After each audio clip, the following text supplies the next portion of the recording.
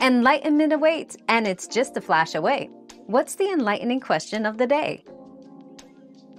Absorbing the parasite in Baldur's Gate 3, BG3, presents a complex decision with far-reaching consequences.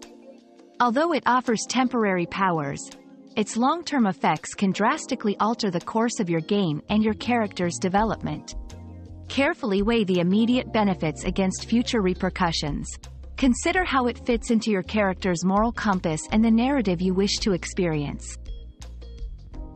Your daily dose of discovery ends here, but the journey of learning never stops. Subscribe and join us again for more answers tomorrow.